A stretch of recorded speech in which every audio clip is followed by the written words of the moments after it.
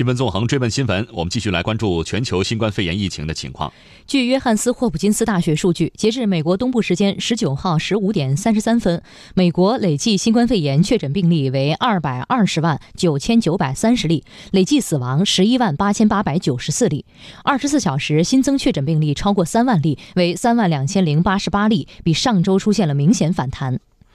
美国多个州的病例增长速度较快，亚利桑那州的确诊病例比前一天增长了百分之七点五，累计四万六千七百零六例；佛罗里达州增加了百分之四点四，累计达到了八万九千七百四十八例；加州病例增加了百分之二点七，达到十六万五千四百一十六例。有关美国新冠肺炎疫情的最新情况，我们来听总台驻美国记者顾湘今天凌晨发来的报道。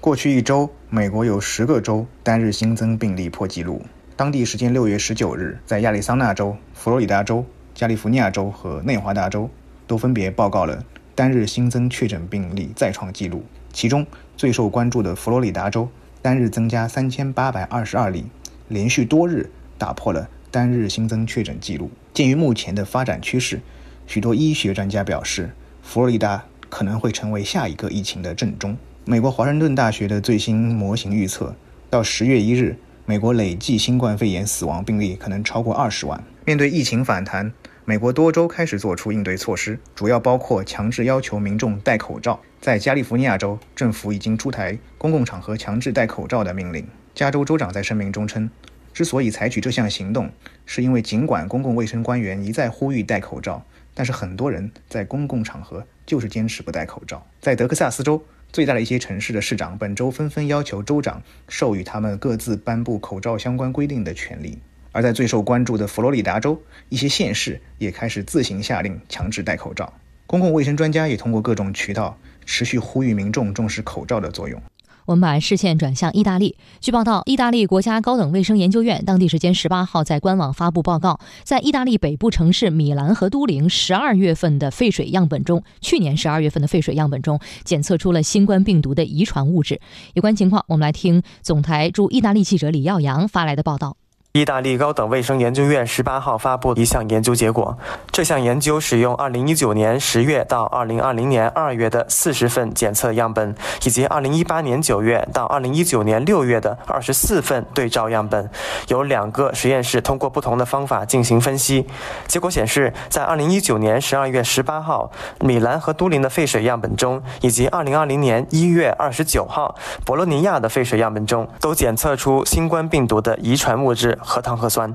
二零二零年一月至二月，这三个城市的样本中，新冠病毒核糖核酸依旧存在。研究人员认为，这个结果可以帮助了解新冠病毒在意大利传播的起始，因为该国今年一月下旬首次报告新冠病例，而本土的一号病人二月才出现。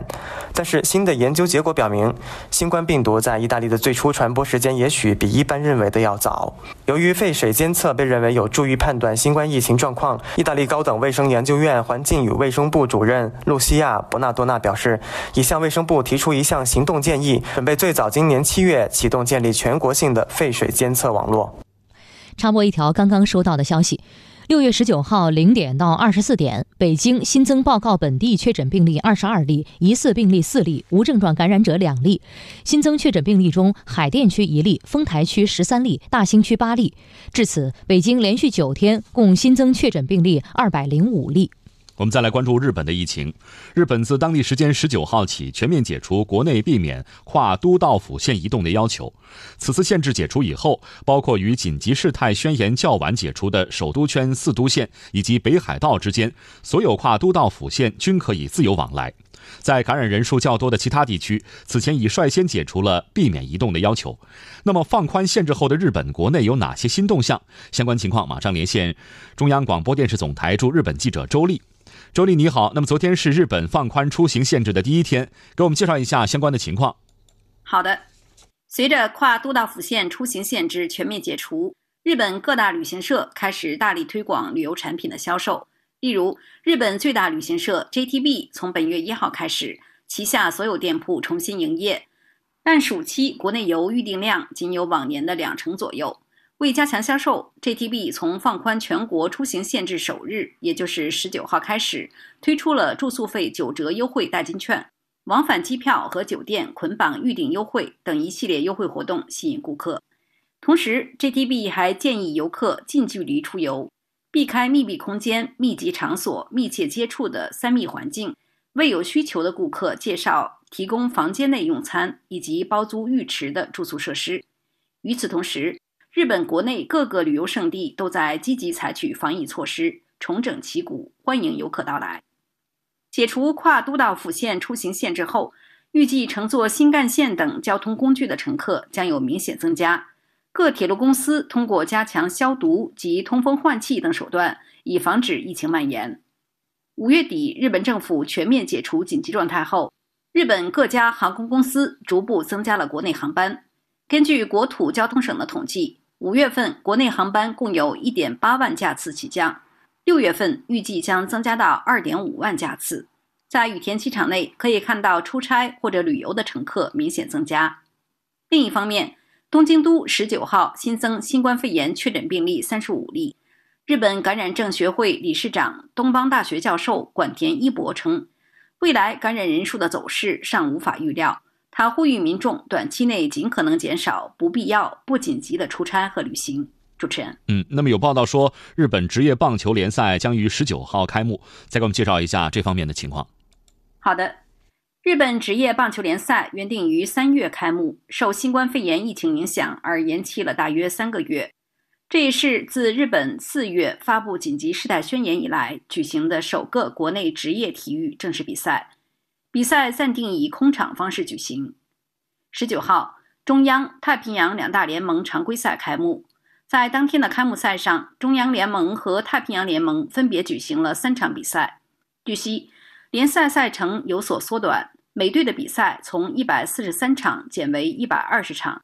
全明星赛被取消，中央联盟巅峰系列赛已决定取消。太平洋联盟巅峰系列赛将于十一月十四号开幕，且缩短日程，仅在第一名和第二名之间举行四场比赛，四战三胜的队伍将进军日本系列赛。日本系列赛将于十一月二十一号开幕，并在当月内结束。十九号开赛前，职业棒球联赛的十二支球队还接受了新冠病毒核酸检测。据报道，主力队员和球队主帅检测结果均为阴性。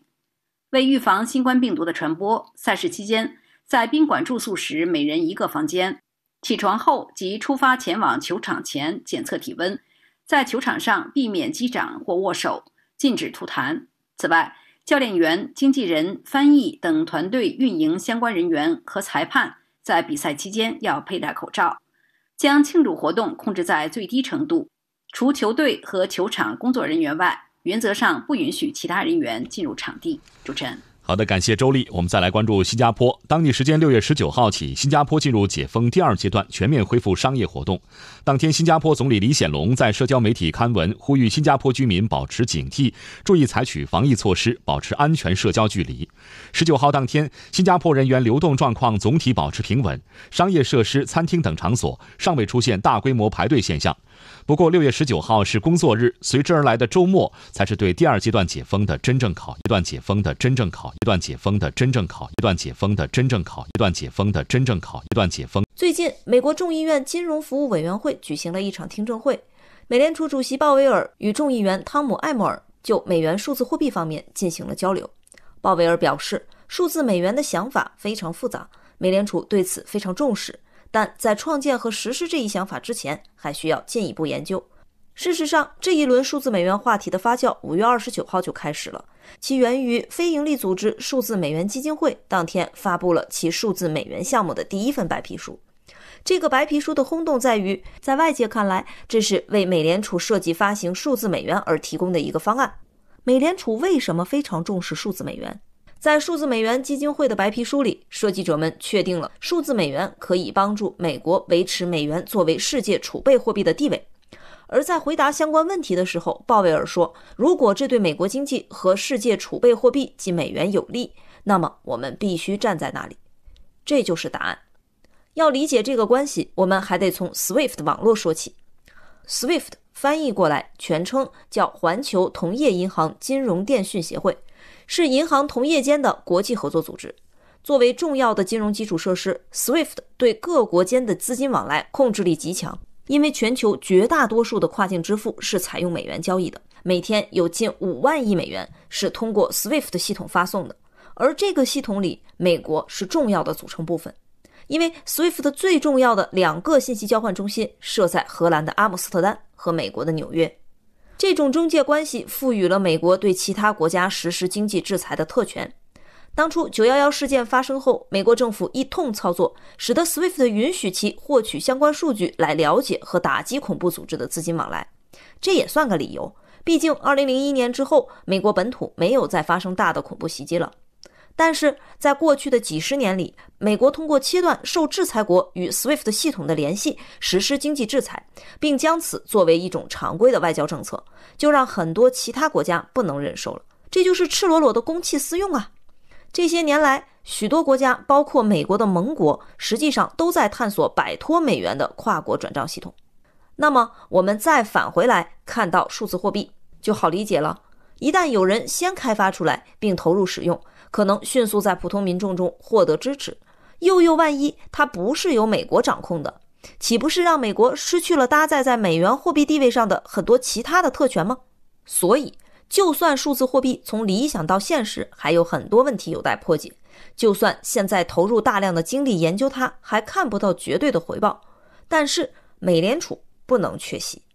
当然，要说这种争夺现在就有多么迫在眉睫，也未必。毕竟，美元目前仍然是一家独大的国际货币，它还没有显而易见强大的竞争对手。不过，有一点值得注意的是，借助技术的进步，今天的这个世界越来越不那么中心化了。如果有一天人们发现这个世界上其实不需要一个币种绝对领导所有跨境交易，又或者传统的货币交易体系发生了质的变化，使得国际货币不再是一个如此富有特权的存在。那么到时候谁会是做好准备的那一群呢？这就是今天各国如此重视数字货币研究的原因吧？比研究的原因吧？比研究的原因。新闻纵横追问新闻：北京市政府新闻办昨天下午召开疫情防控第一百二十六场例行新闻发布会，通报疫情防控最新进展。北京市委宣传部副部长、市政府新闻发言人徐和建说：“目前首都疫情防控形势非常严峻，疫情防控工作仍然存在不确定性。核酸检测是精准防控的有效手段，要加强统筹调度，迅速提升检测能力。”发布会上，北京市疾控中心副主任庞星火通报了昨天新增报告确诊病例相关情况。北京地坛医院副院长吴国安通报了目前确诊病例的救治情况。请听总台央广记者刘天思的报道。发布会上，北京市疾控中心副主任庞星火通报：六月十八号零到二十四点，北京新增新冠肺炎确诊病例二十五例，已完成调查的二十一例确诊病例均与新发地市场有关联，还有四例正在流调中。其中，新发地附近餐馆发生聚集性疫情，八名员工确诊。在十八号确诊的病例中，有八例病例均为面面俱到餐馆员工。庞星火说，他所通报的病例二是这个餐馆的采购员，定期从新发地市场进货。面面俱到餐馆，该餐馆位于新发地冰鲜海鲜市场附近，就餐者多为附近冰鲜海鲜市场营业者。综合流行病学调查，考虑为一起与新发地市场相关联的聚集性疫情。此外，十八号新增报告的二十一个确诊病例中，十四个分布于丰台区花乡。另外七个病例分布在大兴区高米店街道、西红门镇清源街道、西城区展览路街道、海淀区永定路街道。北京市疾控中心副主任庞星火强调说，在新发地市场环境采样中，其综合交易大厅，特别是水产豆制品局部售卖区域，阳性标本较多，环境污染较重。建议市民朋友妥善处理赴新发地市场所购的冰冻海鲜、豆制品等食物，不建议食用。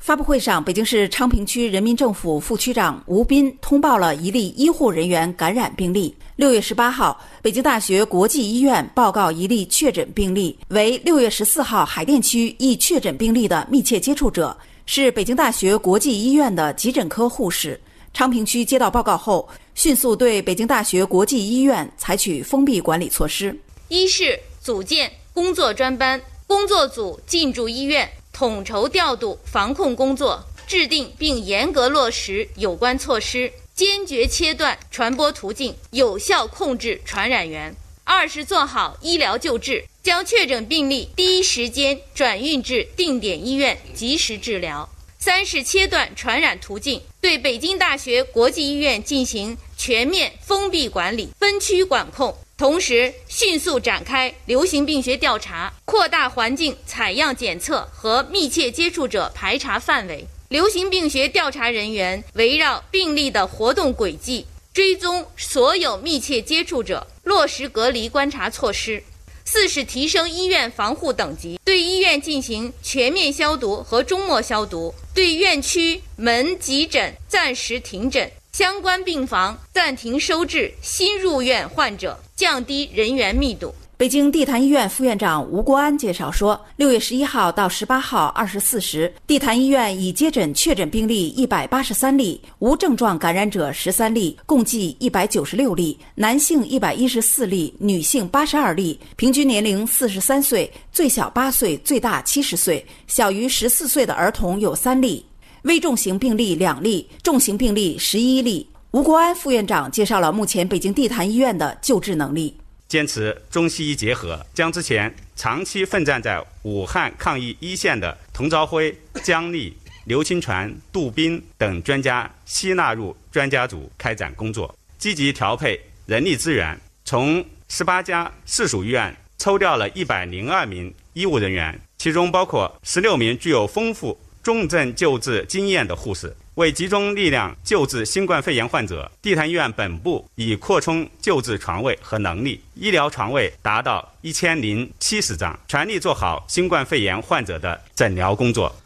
中国之声正在直播广告之后，新闻纵横关注：一周之内排查七十万人，核酸检测能力快速提升的同时，如何保障检测现场安全有序？记者现场有序，记者现场有序，记者现场有序。中国之声此时此刻，我们来关注此刻的最新消息。在昨晚召开的北京市新冠肺炎病毒疫情防控工作新闻发布会上，北京市人民政府副秘书长陈蓓表示，自六月十六号起，北京市突发公共卫生应急响应级别由三级调至二级。陈蓓指出，境外输入仍是北京市最重要的疫情风险。会上，北京市发布了中高风险街乡、新发地市场相关人员禁止离京，其他人员坚持非必要不出京，确需离京的，需持七日内核酸检测阴性证明等十五条措施。财政部昨天在官网公布，将发行二零二零年抗疫特别国债一二三期，竞争性招标面值总额合计一千七百亿元。一二期在明天招标，六月十九号开始计息，六月二十三号起上市交易，利息按年支付。三期在六月二十三号招标，六月二十四号开始计息，六月三十号起上市交易，利息按半年支付。美国国会众议院民主党领导人当地时间十六号宣布，将于本月二十六号就是否将首都华盛顿特区设为美国第五十一个州进行表决。首都华盛顿特区有超过七十万居民，但在国会参议院和众议院均没有席位。如果将华盛顿设为州，华盛顿将获得两个参议员席位和一个众议员席位。特朗普近日表示，绝对不会允许华盛顿特区成为一个州，这永远不可能实现。众议院曾在一九九三年就华盛顿特区设州一事进行表决，但是未能通过。欧盟十六号双管齐下，宣布对苹果应用商店和苹果支付发起反垄断调查。公告显示，欧盟初步调查将矛头直指俗称“苹果税”的应用内购买系统。苹果支付反垄断调查会重点关注苹果公司是否限制用户使用苹果支付购买竞争对手的特定产品。美国电信工会周二透露。移动通信巨头美国电话电报公司已经通知其主要工会，计划未来几周在全美裁减超过三千四百个技术和文员职位。该公司还计划永久关闭二百五十多家门店，这将影响到大约一千三百个零售职位。以上就是这一时段的此时此这一时段的此时此。各位好，一起来关注这一时段的环球这一刻。我是杨敏，先来关注疫情。国家卫健委今天通报，六月十六号零点至二十四点，三十一个省、自治区、直辖市和新疆生产建设兵团报告新增新冠肺炎确诊病例四十四例，其中境外输入病例十一例，本土病例三十三例，分别是北京三十一例、河北一例、浙江一例，无新增死亡病例。新增疑似病例三例，均为。本土病例均在北京。在十六号晚间召开的北京市新型冠状病毒肺炎疫情防控工作新闻发布会上，北京市人民政府副秘书长陈贝表示，自当天起，北京市突发公共卫生应急响应级别由三级调至二级。记者从中国国家铁路集团有限公司了解到，为配合北京市做好应急响应级别由三级提升到二级的疫情防控工作，铁路部门决定自二零二零年六月十七号零时起，旅客在车站、幺二三零六网站等各渠道。办理二零二零年六月十六号二十四时前已购的进出北京地区各次列车有效车票退票时，均不收取退票手续费。购买铁路乘意险的一同办理。法国总统马克龙十六号在视察法国制药企业赛诺菲集团一处疫苗生产基地后宣布，法国政府将拨款两亿欧元用于改善本国药品研发和生产基础设施。哥伦比亚部分地区近日新冠疫情有所蔓延，与此同时，首都波哥大等地十六号。在强化防疫措施的前提下，进一步复工复产。各卫生和社会保障部十六号发布公告说，该国当天新增新冠确诊病例一千八百六十八例，累计病例五万四千九百三十一例。当天新报告七十五例死亡和四百一十四例康复。据美国《华尔街日报》。日前报道，四月份中国重新成为美国最大贸易伙伴。在新冠疫情使全球贸易整体低迷的情况下，这对美国农民和其他出口商来说是一大好消息。报道说，今年四月中美双边贸易额攀升至近三百九十七美元，比二月份增长近百分之四十三。六月十七号十五时十九分，我国在酒泉卫星发射中心用长征二号丁运载火箭成功将高分九号零三星送入预定轨道，发射获得圆满成功。这次任务还搭载发射了皮星三号 A 星和德五号卫星。好，感谢收听这一时段的环球这一刻，环球这一刻，环。